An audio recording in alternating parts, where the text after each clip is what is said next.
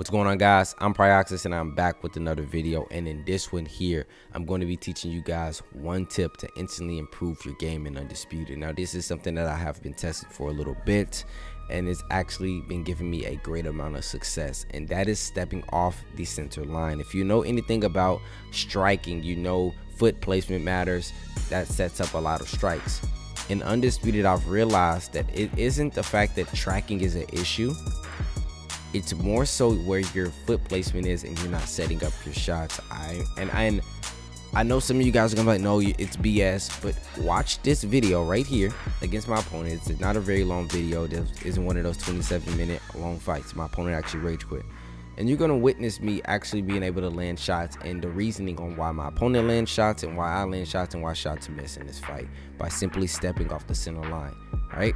But with that being said, you guys enjoy the rest of this video. And if this is helpful for you, be sure to hit the sub button, hit the like button, and turn on those notifications, okay? And also, pay close attention, implement this into your game, bro. I'm telling you this right now. You don't have to use Sugar Ray Robinson every match to win, bro. You can use other guys too. Thank you. Enjoy the video. All right, so here we go. We're going against a Terrence Crawford. This dude is currently ranked gold three. He's 13 and 10. You guys do see my record 21 and 15. I don't have the best record, but I don't really take ranked and try to go in and and this is not me making an excuse, but I don't try to ranked is an experience for me. It's a learning process for me. I'm not going in trying to figure out the best way to win. I'm going out trying to figure out the game. You know, a lot a lot of there's going to be a lot of ways to win early with playing a certain way. But how do I actually become a better player? And that's what I use ranked for. And I am on a second account here. But here we go.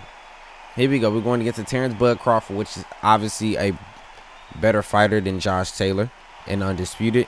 And we're going to try to stay off the center line and actually look to line up our own shots. And you guys will notice me doing this. And once you start doing it, you'll be like, okay, wow. And you can even stay off the center line to set up shots against your opponent. So we're both lined up here. Okay. And once I feel like he's coming forward and going to throw something, I'm going to step off the center line. Whether that's stepping laterally, stepping uh, up or down. Now, stepping off the center line technically wouldn't be stepping off if you walk backwards because you're still on that same uh, that same axis. But see here, I'm gonna walk forward, and I can even do something like this. You can bait people, right? You can walk forward, step off the center line, and you see how I landed that counter cross right there. Stuff like that that you don't see unless you actually pay attention. You know, a lot of people are used to just consistently moving, right? Instead of me just consistently backing up, I'm circling. So I circle out here, right? Now line him up with the cross. And he walks back into the cross again, hit the jab, and I'm just lining him up. Now both of those shots get blocked. He let's land that strike right there. Now look like he's trying to line me up. Now you see how I'm consistently staying off the center line? Right? Hit him with a cross there. But I'm never I'm never sitting still for him to, to just line up a free shot. I'm gonna be moving consistently. And I'm not saying moving like all the time. I don't stop moving the whole fight. But what I'm saying is when I feel as if I'm in danger, I'm gonna circle out. Right? We back up here. And this is just a boxing thing. There we go. And I'm able to, now I stay see how I stayed on the center line there and he was able to land that shot. That's what I don't want to do. Boom. Counter left hook. I mean, I'm sorry, right hook because he's southpaw. Okay. Circle out. And you can even step off like this with your jab. We land the counters there. Nice. Now, right there, that at the end of that round, you do notice how I stay on the center line, and he was able to land something. But for the most part, if, when I step off, that opens up opportunities, and it's angles. Boxing is a lot of angles. Fighting, period, is a lot of angles, and you notice that I'm able to utilize angles against my opponent here, and set up counter shots. So you don't always have to move your head and do these you don't have to always do that. Just simply stepping off, boom, right there, counter shot. Now, I'm not going to let him line me up. I don't have to throw consistently. I throw when I feel like I need to. Okay, we circle out. We can hold our ground. We don't have to give him up free space. We step step backwards there and land the counter. Also, you can time your opponent. If they're if they're consistently walking forward, that means they're on a straight line. Boom. You know, and just timing one jab. One jab. If you land your jab and he lands nothing, well, you timed him. Boom. I land my cross there. I circle out. And even Irson, boom, he landed a nice body shot.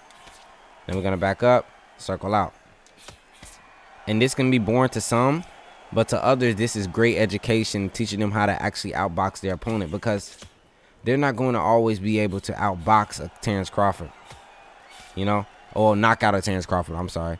You you're gonna have to outbox him. So again, we circle out, and this is something I'm I'm personally still experiencing. But uh, there we go. See steps forward with the three jabs, and then you see how we circle out here. You never want to be lined up for your opponent, especially when you're playing a big power puncher. There we go. We back up. But I can see you, and you'll start to play people. And again, this is a boxing game. We got 12 rounds, right? A lot of these guys get impatient. Left hook. I mean, right hook. Again. There we go. Left hand. Left hand. Boom. Counter, counter. And he just probably gave up the round because of that. But a lot of guys get impatient and, and they don't see the big picture of the fight.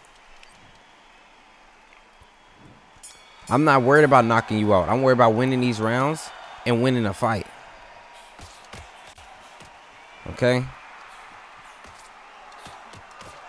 Now we get off to the line. Boom. If he didn't move his head, it would have counted as a counter.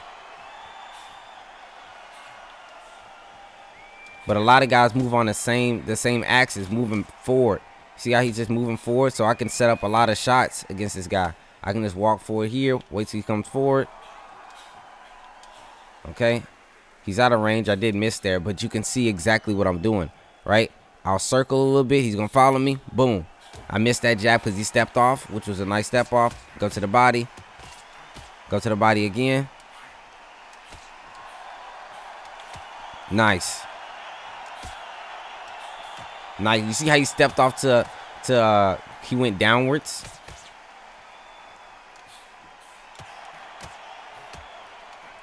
Okay. We're gonna back up here. Hit him with the jab. Hit him with the cross. Hit him with the right hook. Left hook, I'm sorry.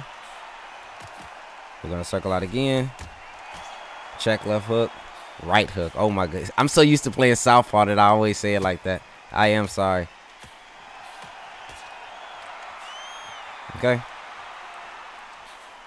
And we can even work downstairs a little bit. But for the most part, nice jab again. Now, just me stepping off, a, set up a 1-2. There you go. And you can even like come forward, feint, step off the center line, land a counter.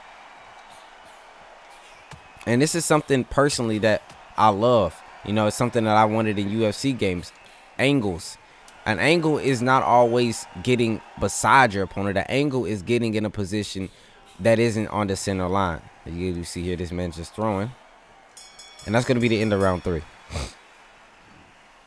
Now, we are currently winning two to one. Not 100% sure how he won the last round, but this guy just rage quit. Yeah, he just rage quit. Literally. Literally just made him rage quit with just simple simple boxing. We didn't give him the war that he wanted. He he didn't like that, so we just quit the match. And again, I'm using Josh Taylor.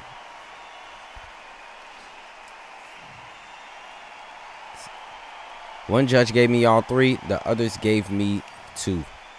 Okay, and you can see here, I threw 122 shots and I landed 54 of them, and he threw 207 and landed 59. For the most part, most of mine were jabs, most of his was jabs as well. But again, I did not give him that fight that he wanted. He wanted to, you know, be hella aggressive. Probably wanted to have a war, but I, that's not really what I'm gonna do in this game. My name on here is Outbox, not Outward, all right? But hey, I'm going to leave it at that, man. I do hope you guys enjoyed this video. This was simple, straight to the point. Didn't need to do a whole 27-minute video of me fighting somebody. Just something simple. But hey, I'm gonna get up out of here. I do hope you guys enjoyed this one. If you did, or you learned a thing or two, be sure to hit that like button for your boy. If you're new to the channel, subscribe up, turn on notifications so you don't miss any of my streams or my uploads. And y'all stay up, stay blessed, and keep moving forward. Love you guys, man. See ya.